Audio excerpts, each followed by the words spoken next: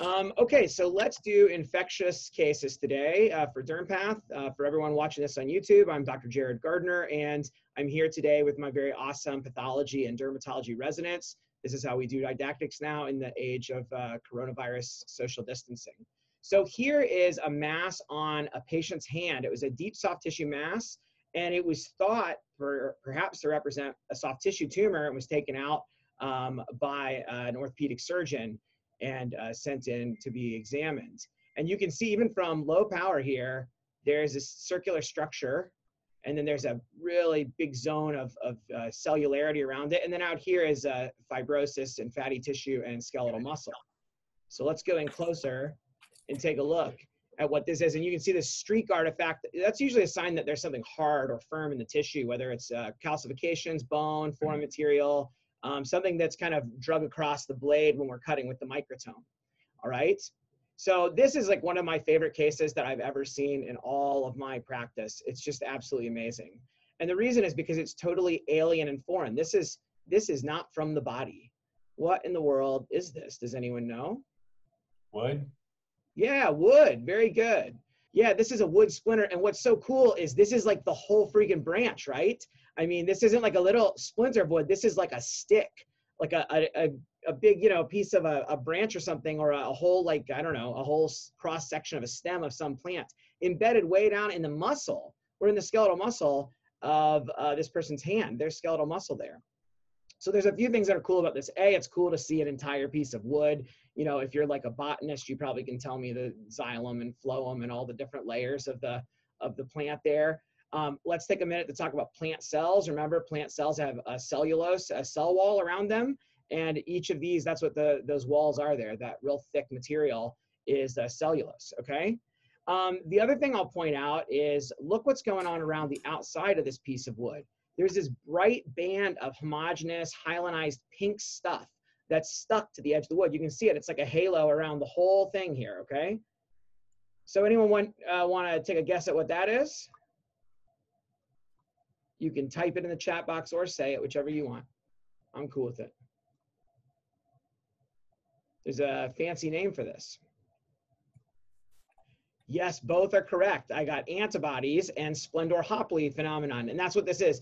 This is Splendore-Hoeppli phenomenon, which is a deposition of antigen and antibody complexes around the outside of, oftentimes around foreign material or around some infectious organisms, like in mycetomas. I've seen it um, around angioinvasive fungus, like in the lung on autopsy, where there was so much fungus that there were layers of Splendore-Hoeppli around it. Really crazy. So yeah, that bright pink stuff, that's what it is. And it's a little hard here on this uh, the scan because the scan doesn't always pick up three dimensionality very well, but let's see if I can find the area. In addition to the pink Splendore-Hoeppli, we have these dilated structures here that look kind of like um, uh, that are kind of round and have thick walls. They look a little bit like the fun, uh, the um, the cell wall of the plant, but these are actually there's fungal organisms embedded in the Splendore uh, Hoeppli. And I'll show you uh, the stains in a minute. Let me see if I can find another area on the original H&E, um, it was actually pretty easy to see. Uh, but on again on the scan, it's kind of hard because we have three dimensions here. Like these are all fungi in here. But I'll show you uh, in a minute the scan. Um, uh, this the uh, pictures of the stains. Okay, the other thing I'll point out is so there's there's fungus around the organism, uh, I mean around the piece of wood here. Out here we've got a brisk inflammatory response, lymphocytes, plasma cells, neutrophils, some giant engorged plasma cells that are filled with the antibody. Um, so actually, uh, there's there's no fungus out in this region, and there's no tumor here. This is all a reactive uh, process to this giant wood splinter. Here's another look at it. It's just incredible. Isn't it so pretty? If you don't think so, well, I don't know how to help you. All right, so here I'm going to pull up the um, the uh, uh, PowerPoint here to show you and see if this works. Hopefully, can you all see that still? You can nod your head. Okay, good. So here, uh, what we're dealing with is, uh, this is the MRI, and you can see the actual hole in the middle there, that's where the, the stick is. And this is all the inflammatory response and fibrosis around it. And then here you can see it in, in a different, um, a different plane of section, the cross section of the hand. Really amazing, right? And what amazed me the most is I thought surely there'd be some great history, but the patient actually re didn't recall um, having any trauma here. So I, I still don't understand what to make of this. All I can figure is that maybe they had like a mountain biking accident and had a concussion, and so they didn't remember, or they had other trauma that was so, you know so bad that the last thing to worry about was like some little scratch on their hand, you know, um, uh, or else that it was alien implantation. Could go either way. So, so like an episode of House or something. All right, let's see. Um, here's here's just some pictures from uh, that are white balanced to let you see it a little bit better. Wow, so cool, huh? And then look, it's polarizable too. So a lot of times plant material, and not always, but a lot of times plant material will, the cell walls will actually polarize. So it's a, it's a fun party trick to show your friends. Um, and look at that. This is in the middle of the stick. Um, it's easier on this picture. There's actually pigmented dematiaceous fungus growing in the middle of the stick. And this makes sense, right? We live in a, in a wet, humid, and uh, warm environment, and dematiaceous fungi which are like basically black molds and mildew they live everywhere they're all over every stick and, and plant out in the in your garden and uh, on every surface outside basically. So i would say almost every time that i see a wood splinter or a piece of plant material embedded in someone's skin um, even the less dramatic cases where it's just small and in the dermis uh, a lot of times i'll find pigmented fungi as passengers on the stick. All right?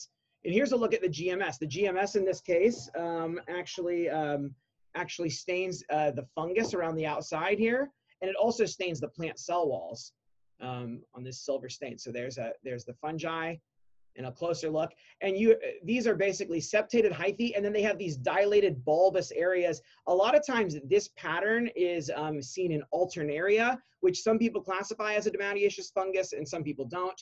But um, alternaria often has these dilated kind of bulbous areas in addition to hyphae. The hyphae become kind of sausage-like. They are like bulbous and then linked together. Obviously, as I've told you guys many times before, you cannot reliably speciate hyphal fungal infections um, on tissue sections, okay? You can guess at it, but you can be wrong sometimes. I've been wrong before when I tried to guess if it was gonna be, you know, aseptate or septate. So you can be descriptive, but like we always say, the only way to really know is to do cultures or to do molecular analysis to, to identify the species through, um, through um, uh, molecular uh, workup, okay? But when I do see this, it always makes me think of Alternaria. I suspect there were several different uh, fungal organisms in this, in this particular wood stick. Um, and here's a look on the PAS, again, brightly staining um, the uh, cell wall of the plant and also staining the Splendore Hoeppli area and you can tell the, the fungi don't stand out quite as well. The GMS is a really a good stain.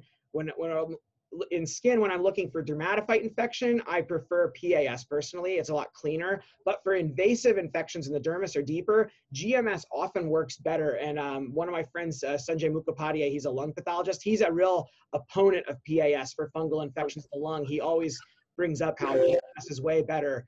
And uh, I certainly have seen times where PAS didn't work as well as GMS so for when I'm trying to rule out invasive fungus, um, sometimes I'll do both GMS and PAS because I've seen times where one worked better than the other. In this case, I just did these for, for teaching purposes because it's such a cool case. All right, so that's the the the wood uh, splinter, and you know the interesting thing is that the um, organisms there are only.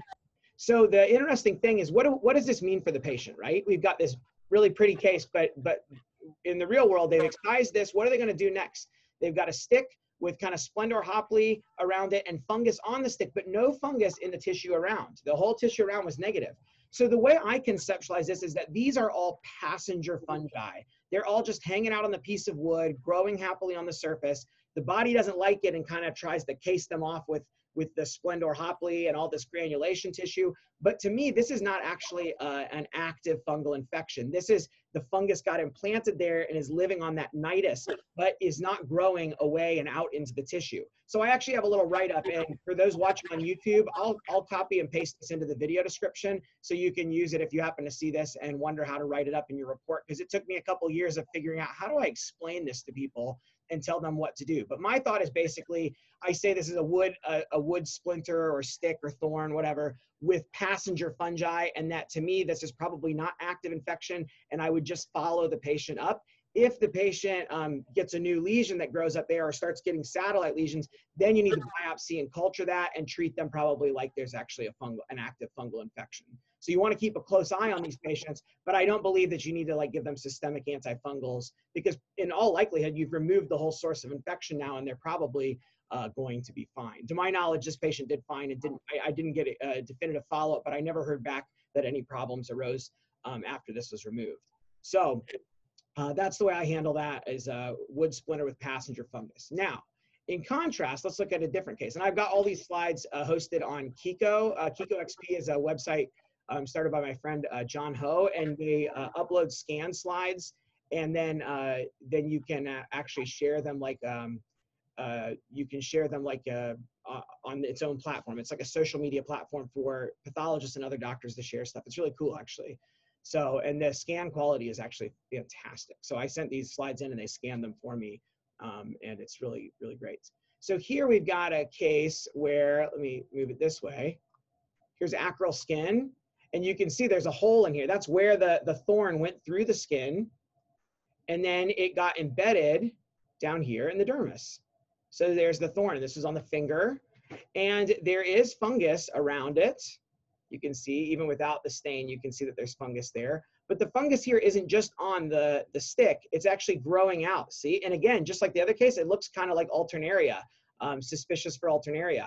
Fungal cultures actually in this case were negative, and probably that's because this was most of the um, most of the uh, lesion came out here, and I suspect that the other piece sent for culture just didn't have any um, any uh, of the fungus left. But to me, the fungus here was too much. It's growing way out away from the stick. So even if it's still pretty localized, I felt that this probably should be regarded as a real fungal infection. And this was in a patient with leukemia. So they were immune suppressed actually. And I think that that's what allowed the fungus to start overgrowing here and spreading out into the tissue. See, there's those, these are way too big to be like yeast um, or regular like conidia or spores. So they're like these kind of bulbous dilated structures that link together kind of in chains.